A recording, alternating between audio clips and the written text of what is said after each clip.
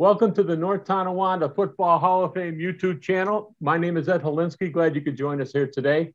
Uh, we're going outside the box a little bit. Instead of talking to former NT players or maybe Tonawanda players, we're venturing out to the Kenmores and Kenmore East. And joining us today is Jeff Gemmer, who played in the middle to late 60s for Kenmore East. Glad you could join us today, Jeff. How's things going today? I'm good. I'm good. I'm looking forward to this. You played at Ken East, graduated in 1967. Um, your big rivalry probably was Kenmore East, Kenmore West. Ken East was one of the, the was the latter of the two schools to, to be created. Was it a time back then when you were considered the little brother of schools? Oh, definitely. Yeah. Uh, Kenmore High School, as it was back then, uh, was uh, in fact, coached by uh, Dick Offenhamer, who ended up uh, at uh, and coaching at UB.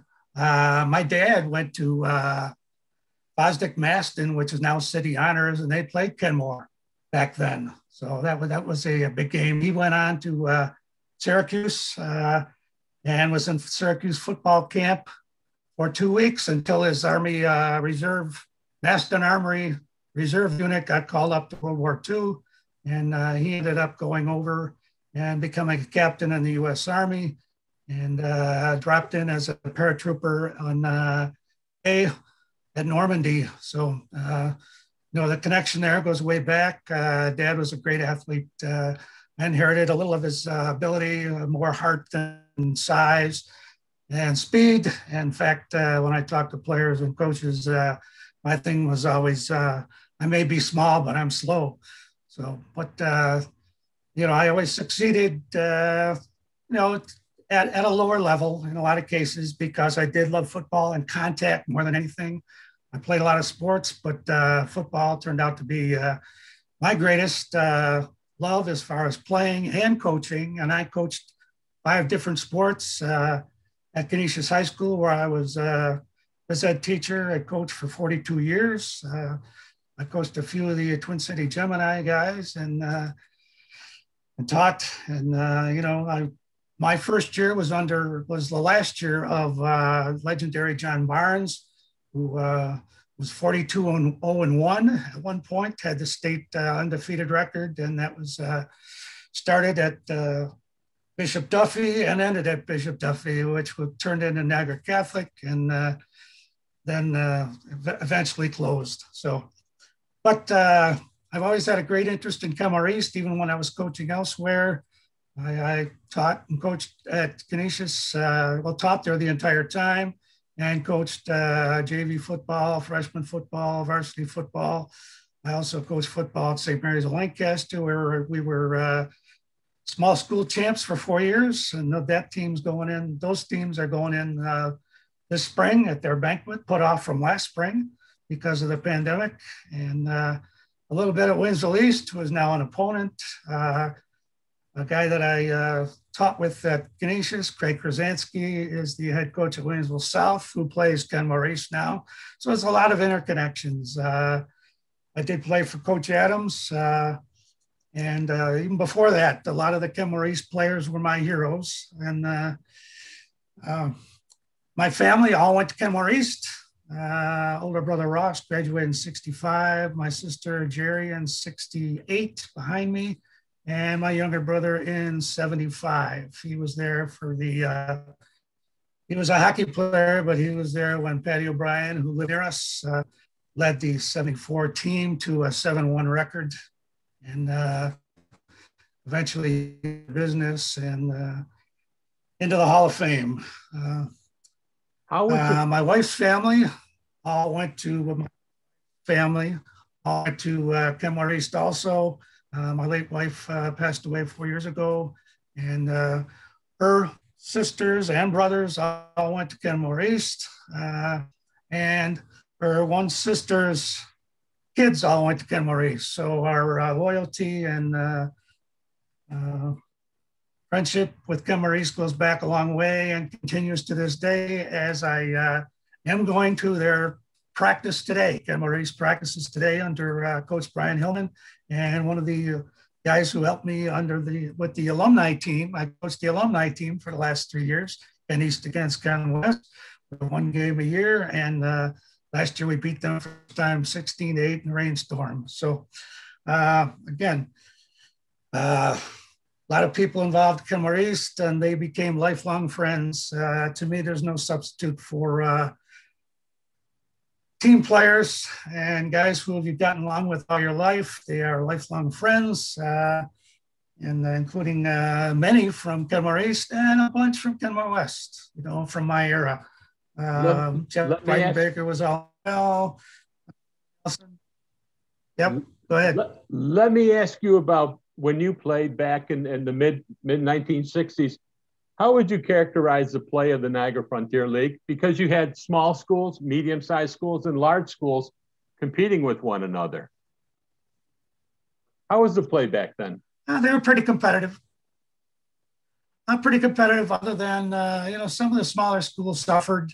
Uh, when I was a senior, we beat uh, Trot seventy-one to nothing, and uh, that was not uh, an equal now they would now they have them by sizes, which is better. Back then it was NFL, and uh, we played and West played on the same field at Crosby, and we played away one week and home the next on a grass field. And uh, by the end of the season, it was pretty torn up. When we played Niagara Falls, my senior year was on a snow-covered field, and uh, I remember uh, with the seven-seven tie knocking uh, all NFL running back Dave Smith out of bounds at the two-yard line to uh, stopped them from scoring and kept the tie. But uh, you know that was uh, one of my lucky plays, I guess, uh, hustle play.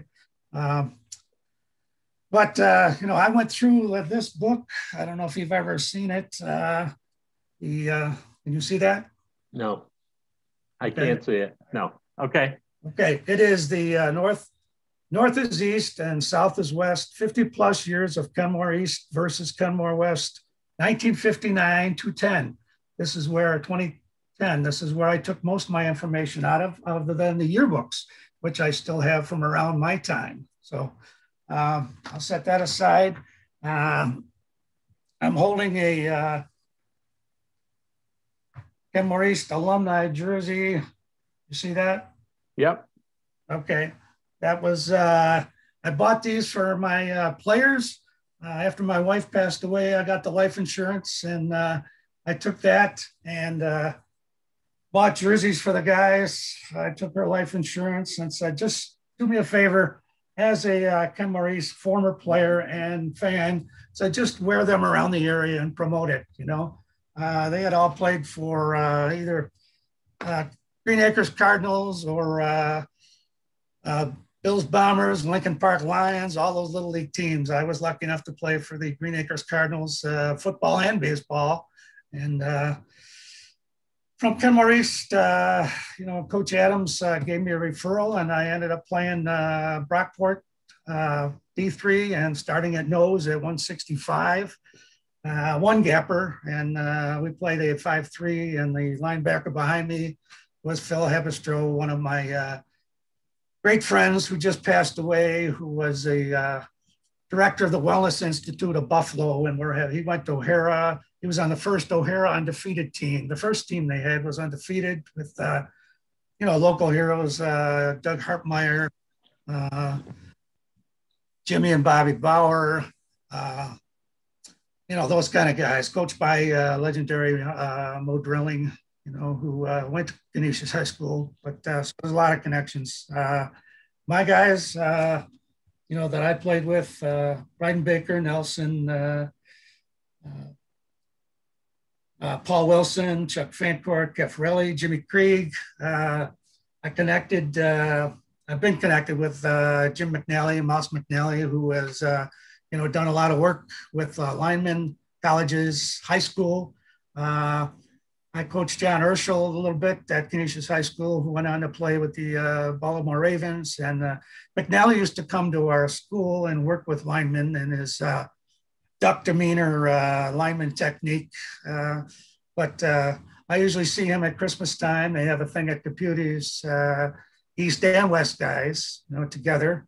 Um, uh, cheerleader wise, uh, you know, I went out with a couple of our cheerleaders from my time after my wife passed away, uh, Katie Saliba Eberlin, uh, Nancy Durrell, uh, Debbie Cannon, and ended up with uh, Carol Jones DeCarlos, who was a friend of my wife's and same sorority, and uh, her son Christian and my son Chris, who is in Georgia. He's a lieutenant colonel in the Army after with 20 years and three deployments. Uh, they were in the same class uh, in kindergarten at uh, Alexander Hamilton. Those were the boomer days when everybody uh, bounced around a lot uh, from different schools.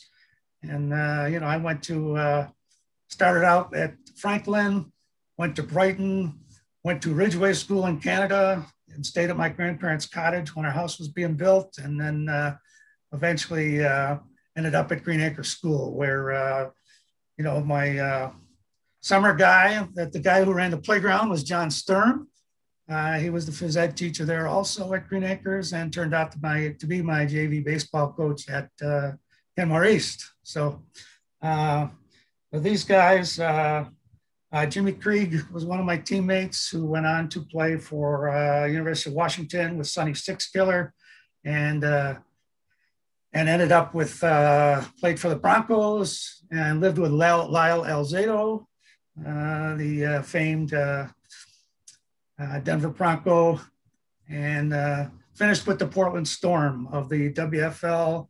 I watched his last catch on TV, uh, typical Krieg catch where uh, he's up in the air 36 inches off the ground, makes a catch, was cut and landed right on the top of his head, uh, Don Beebe style.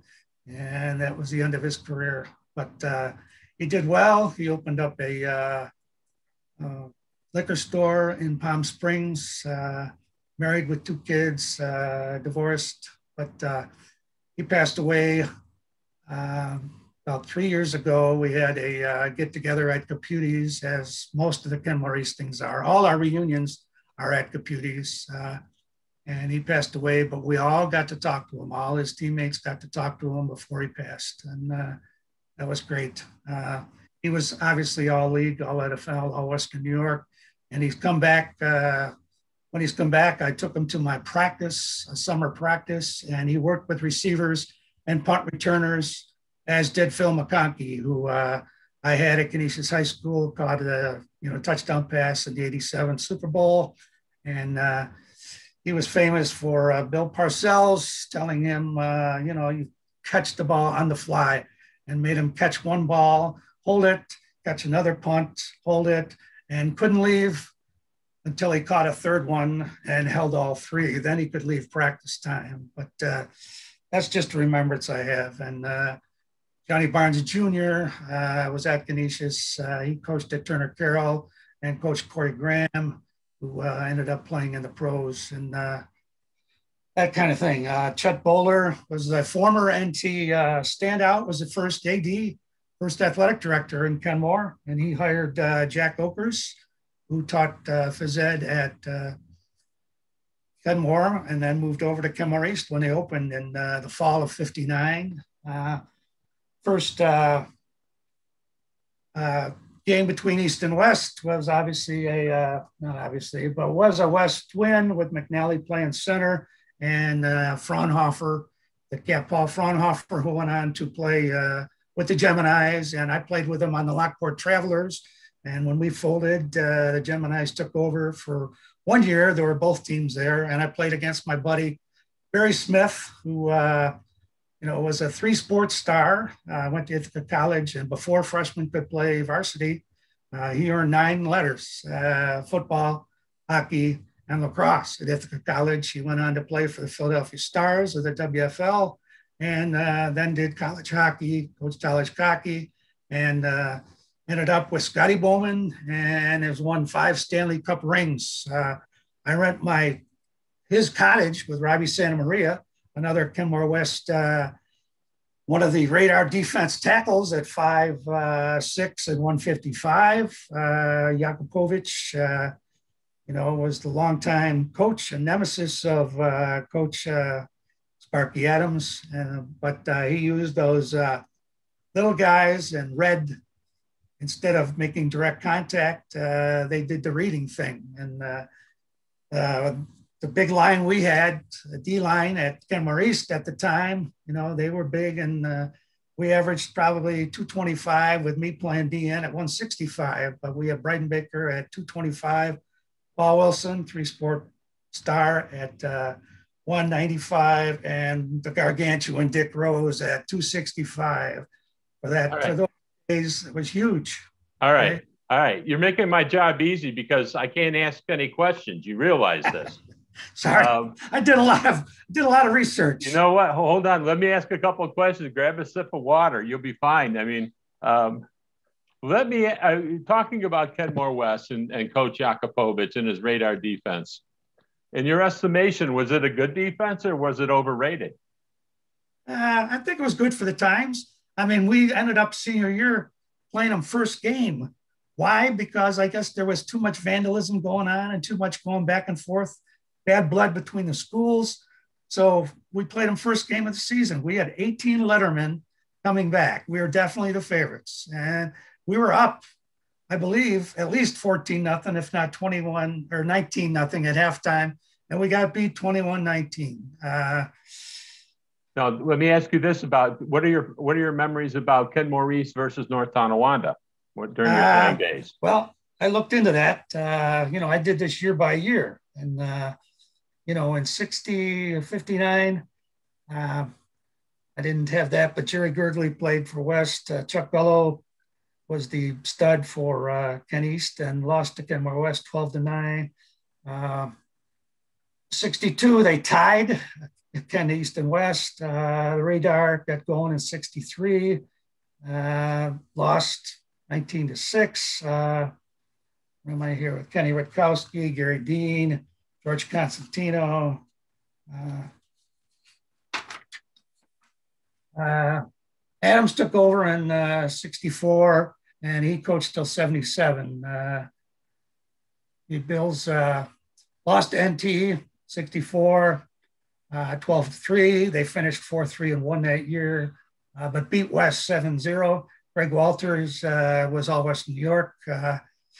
He uh, went on to UB, play at UB. He was captain of uh, East and uh, I mean main cog at UB at the time. Uh, the, uh, and became a uh, a phys ed teacher and uh, coach in the Rochester school system. I saw him many times at track meets. His daughter Teresa ran track, and in fact, we saw each other at the Yale indoor national championships where I had a uh, decathlete and he had his daughter a distance runner there. Let me uh, ask you about. Let me ask you, we, I'm sorry. Let me ask you about the Twin City Geminis. Okay. There were guys who you know played high school football. Some of them went on to college and played Division One or Division Three. Why did they feel the need that they had to continue playing football? Uh, I mean, I played myself for Lockport Travelers two years, 69 when I flunked out of Brockport and uh, immediately did some uh, military duty for a year. I did a year uh, active and then came back and had uh, five more years to go at Niagara Falls. Uh, so every once in a while at Brockport, I mean, I started one year in 70, uh, 70 and I would miss a game for a, a a, a, monthly drill. I'd have to drive back to uh, Niagara Falls, and uh, everybody was going to bed. You know, we were bouncers back then. You know, at the uh, which Phil Havistro was the manager of, uh, a Twin City Gemini. But uh, uh, when everybody went home to sleep, I went home, put on my uniform, drove to Niagara Falls, and slept in the car until they woke me up for formation at seven o'clock in the morning. And but I would miss a game every once in a while, and uh, miss a football game coaching wise because I was in the guard from 69 to 75 and I started teaching and coaching at 72. Uh, so I played in 69 for the Travelers and I played in 72 uh, that summer. Uh, like the third game, I ripped, I came back from uh, Denver where I was at tech school, came back, uh, played for the Geminis and worked full time, went to night school to get my grades back up so I could get back in. I got two A's at Niagara Community. Uh, worked during the day. We practiced three nights a week. So that tied me up. I got hurt in the third game. I ripped up my knee and uh, had to get that uh, taken care of. I taught, started teaching health and phys ed on crutches at Canisius High School. I had gotten married two weeks after uh, I graduated from Brockport, got married two weeks later and started to, teaching two weeks after that. Uh, principal was named Don Devine, who was also the name of my father-in-law, Don Devine. It was anyway, uh, so I played uh, that season, and that was it for me. You know, I had played rugby from the time we started in 1970 and played through uh, 71 when I started coaching. My uh, roommate from college went on to Jim Rogers, went on to coach at Eastern Illinois with uh, Shanahan and uh, uh Michigan State with Saban, and uh, ended up at uh, University of Florida under Charlie Pell before the penalties came down there. Charlie gave him a briefcase of uh, money and told him to give it to a recruit. And he threw it back at him and said, I'm done. Here you go. Take this. And uh, so he went into banking, did very well. And uh, Jim Rogers uh, retired from Five Star Bank. Uh, I played golf with him at his uh, at the club in Rochester, Oak Oak Hill, and saw the many blacks on the West Coast. Uh, sure. You've shared a lot of memories and did a lot. You've done a lot of name dropping during this interview. Yeah, I know. Or, whatnot. Um, what would what would you say about um, your high school career or, or playing football in the 1960s? That's the final question. What would you say about football in the 1960s in the Niagara Front? Final question. I got a lot of stuff here. it was terrific. We got great crowds. I mean, East West games, we would get five to 10,000 people, you know. Uh, 66 uh, game, my senior year, we were five, two, and one. And uh, we went out, 21 seniors, you know, we're cocky and we're going to win this game. We go out there in our uh, uniforms without pads. We come back in and hanging in our lockers were new practice jerseys, which we wore for the game, beat on one shoulder, West on the other. So when we got down in our stance, it said beat West and facing them. And, uh, you know, unfortunately, we didn't. Those became practice jerseys. And uh, ironically, uh, when I played basketball for uh, Ken East, we went and scrimmaged uh, Canisius High School, and the locker room they put us in was unlocked. And my practice jersey, game jersey that year, got stolen from Canisius High School. So, uh, all right, Jeff, we need to wrap this up. I want to thank you so much for sharing wonderful memories from Ken East High School uh, and Niagara Frontier League football. Also, uh, Twin City Geminites uh, information as well, too. Thank you so much. You've been a great host, a great guest, I should say. I should say you were the host because you were just the way you, you were you're going on, but I say that as a compliment. Okay. I wish you I wish you good luck, best of health, and thank you so much for joining us just remembering a couple North Tonawanda players, uh, you know, playing against Wiechek and Krinsky. Krinsky went to uh, Brockport, uh, Craig Nebelecki. Okay. Uh, Wiechek killed us in his uh, junior year and Mix killed us in his senior year, Denny Mix. So those are guys I remember. So thanks for Jeff, having me. Jeff, thanks so much. Bye bye.